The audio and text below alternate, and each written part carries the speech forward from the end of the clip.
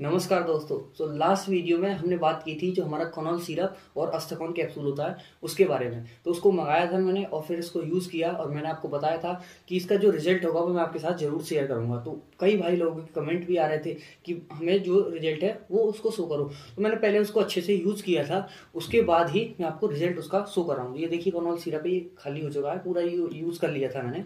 और कैप्सूल भी हैं, वो भी पूरे यूज़ करने के बाद मैं आपको ये रिव्यू देने जा रहा हूँ। उससे पहले एक ज़रूरी बात करनी है, जो हमारी पिछली वीडियो थी, जिसमें मैंने बताया था कि जो हमारा फनॉल सिरप और अस्तकोन कैप्सूल होता है, कहाँ से लेना चाहिए या मतलब कहाँ से मैंने लिया था, उसके बारे में पूरी डिटेल वीडियो मैंने उसको, उसके ऊपर बनाई थी। लेकिन मैंने बताया था कि इसके यूज़ करने के बाद इसका क्या इफ़ेक्ट होगा, या क्या रिज़ल्ट होगा, वो आपको बाद में शेयर करूँगा। तो उस वीडियो पर जो सब्सक्राइबर थे, वो बहुत ही ज़्यादा कम थे। मतलब देखने वाले अगर सौ परसेंट थे तो एक परसेंट से, मुश्किल से एक परसेंट लोगों ने भी इसको सब्सक्राइब चैनल को हमारे किया था। तो अभी देखिए नया नया चैनल है हमारे। तो अगर आप सब्सक्राइब करेंगे तो हमें और ज़्यादा ऐसे ही इन्फॉर्मेटिव वीडियो बनाने के लिए मोटिवेशन मिलेगा।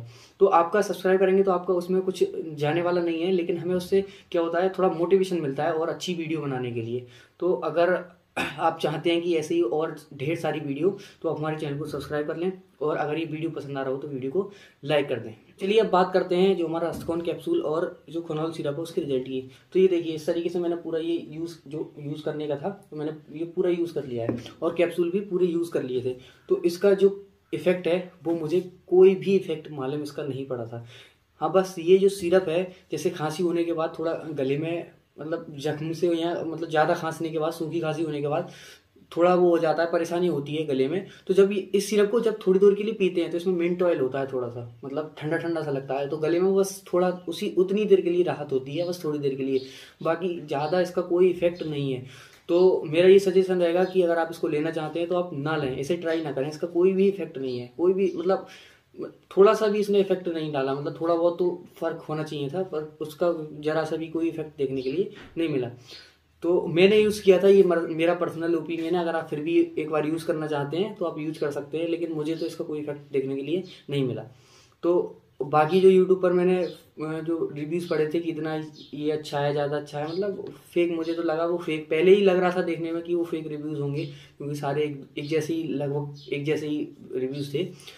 तो अगर आप एक बार ट्राई करना चाहते हैं तो कर सकते हैं, पर इसका कोई इफ़ेक्ट है नहीं, मेरी नज़र में, मेरे ओपिनियन में इसका कोई इफ़ेक्ट नहीं है। अब बात आती है कि जब ये इफ़ेक्टिव नहीं है तो हम, अगर हमें एलर्जी होती है कभी कभी जैसे मौसम चेंज होने पर, जैसे इस समय मौसम चल रहा है तो इस समय काफ़ी लोगों को बहुत सारी एलर्जी है। जिनको एलर्जी होती है तो मौसम चेंज होने पर उनको एलर्जी इसी टाइम इस टाइम ज़्यादा होती है, बरसात के मौसम में, या फिर जब गर्मियों से सर्दी आती है, उस टाइम दिसंबर में, ये नवंबर दिसंबर के टाइम में, और इस टाइम में। काफ़ी ज़्यादा एलर्जी हो जाती है। तो उसके लिए आप एक चीज़ यूज़ कर सकते हैं, वो है ये। ये लेवोकॉफ की टैबलेट। ये मैं पर्सनली यूज़ करता हूँ इसको। ये बहुत ही ज़्यादा इफ़ेक्टिव है, ठीक है? ये मतलब जितने भी होते हैं तो ये वैसे तो जो कफ होते हैं, एलर्जिक कफ होते हैं, देखिए इस पर लिखा हुआ है, एलर्जिक कफ, ड्राई कफ और स्मोक कफ। जो स्मोकर होते हैं, जो मतलब सिगरेट वगैरह पीने से जिनके लिए खांसी आती रहती है तो उनके लिए होता है ये। लेकिन अगर आप एलर्जी में इसका यूज़ करेंगे, एलर्जी कफ जो होता है तो उसमें बहुत ज़्यादा इफ़ेक्टिव रहता है ये। तो आप इसको ले सकते हैं सुबह शाम। खाना खाने के बाद सुबह शाम एक एक टैबलेट ले सकते हैं, और ये बीस रुपये का पूरा आता है। टेन टैबलेट इसकी बीस रुपये की आती हैं। आपके मार्केट में थोड़ा ऊपर नीचे हो सकता है इसका प्राइस। इस पर twenty eight rupees M R P है। इसका जो एम आर पी है, वो अट्ठाईस रुपये है, और आप देख सकते हैं ये लेबोकॉप तो इस टैबलेट का आप यूज़ कर सकते हैं। तो लेकिन अगर आपको कोई पहले से टैबलेट चल रही है या फिर आप को किसी टैबलेट खाने से एलर्जी हो जाती है तो इसको मैं रिकमेंडेड करूँगा कि आप किसी डॉक्टर की सलाह से ही इस टैबलेट को लें। बाकी आप इस टैबलेट का यूज़ कर सकते हैं, कोई दिक्कत नहीं है। पंद्रह साल से ऊपर जिनकी एज है, वो आसानी से इसको यूज़ कर कर सकते हैं। तो जिनकी एज पंद्रह साल से ऊपर है, वो एक टैबलेट सुबह शाम इसको ले सकते हैं। लेकिन एक बार मैं और बता दूँ, किसी डॉक्टर की सलाह से ही इस टैबलेट को आप लें। बाकी इसके साथ में क्या कर सकते हैं, जैसे किसी का एकदम से मतलब एलर्जी से अटैक्स आता है, अस्थमा का मतलब सांस लेने में प्रॉब्लम हो जाती है तो आप कोई भी इनहेलर ले सकते हैं, जैसे इस तरीके से। ये इनहेलर ये मतलब मतलब एक अफवाह होती है, एक मिथ होता है कि इसकी आदत लग जाती है या क्या? तो जितनी देर आपके लिए मतलब थोड़ा सा लेने में सांस, दिक्कत हो कभी कभी तो आप इसको इनहेल कर सकते हैं। बाकी ये टेबलेट खाइए। चार पाँच दिन में आपको तुरंत ही रिलीफ देखने के लिए मिल जाएगा। चार पाँच दिनों में आपको फ़ायदा देखने के लिए इससे मिल जाएगा। बाकी जब आपकी मतलब थोड़ा रिलीफ होना स्टार्ट हो जाए, फिर इसको आप बंद कर दें, इसको ना लें। लेकिन जब अचानक से आपको ज़्यादा कभी सांस लेने में बहुत दिक्कत होने लगती है तो इसको एक एक पंप एक बार में आप इसका ले सकते हैं। तो इसका कोई वो इफ़ेक्ट भी नहीं है, ये नहीं है कि इसकी आदत लग जाएगी बट बट हाँ इसको जब मतलब फालतू में पंप जैसे थोड़ा बहुत मतलब प्रॉब्लम हो रही है तो इसको ना लें। ज़्यादा ही सांस लेने में दिक्कत होती है, तब आप इसका यूज़ कर सकते हैं, और बाकी आप इसका टैबलेट है, इसका यूज़ आप सुबह शाम कर सकते हैं।